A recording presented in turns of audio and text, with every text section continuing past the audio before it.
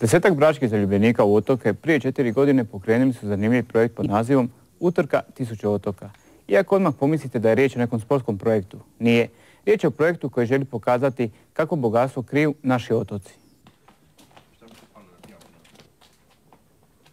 Jedini uvjet za stupanje u ovaj projekt jest da volite otoke, a prednost imaju oni koji su rođeni i žive na otoku, kao ovaj trojac.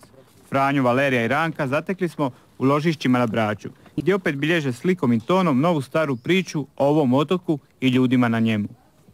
Utrka tisuću otoka prvenstveno je putovanje.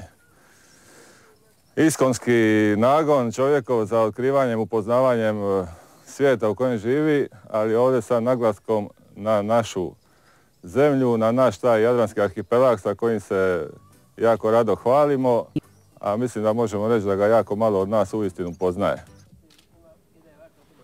Najveća spoznaja meni u otocima mi je ta promjena u, samom, u samoj vegetaciji, što je naravno radi vizavi Jadrana koliko je dugačak i širok, ali bitnija stvar od toga je ponašanje ljudi i odnos ljudi prema okolini.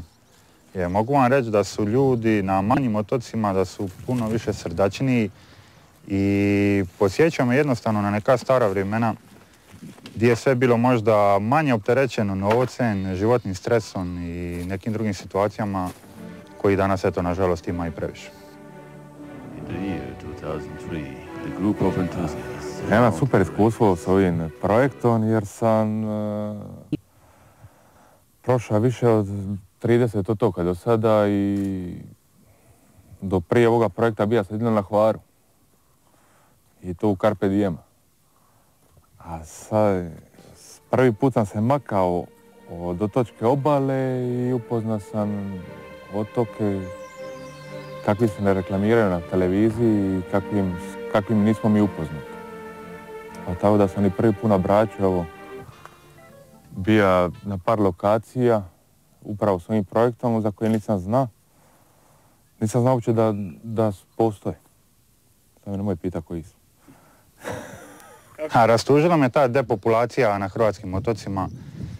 I jednostavno nepostojanje perspektive za mlade ljude na udaljenim otocima, nedostatak sadržaja za mlade ljude, e, malo loši životni standard, ali kažem opet, oni to nadoknađuju sa jednostavnim tom, tom vjerom u, u taj bolji život i tim svojim načinom života koji ipak ubija ove te nedostatke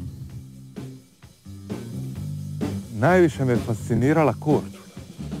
Ko otok i to ne Korčula grad koji je razvikan, koji je stvarno super, ali e, fasciniralo me Žrnovo. To je jedno skup naselja koje su isto prije imali preko 2000 stanovnika i koje su sada isto pred izumiranjem. I njihov e, žrnovački fenomen Kočijevo, koji je jedan svojevrsni rezervat prirode kakvog nema ovdje na Jadranu. A ja bi taj ambijent usporedio, ne znam, sa gospodarom Prsenova. Otoka je do sada, znači na naš e, svojevrstan način pretrčala, preveslala, prehodala, ispenjala 86 e, otoka i otočića. Od toga 13 većih e, i jedan od važnijih dijelova projekta je i snimanje tog dokumentarnog filmskog materijala. Znači do sada imamo montirano oko 400 minuta filmova podijeljenih u 13 epizoda. Znači diramo se svakog većeg otoka i otočića koje ga okružuju. Onog dana kada nogom ili rukom, pogledom i nutrinom dotaknu svaki dio Jadranskog arhipelaga, pa bila to i najmanja hrid, njihova će utrka od tisuću otoka završiti kažu.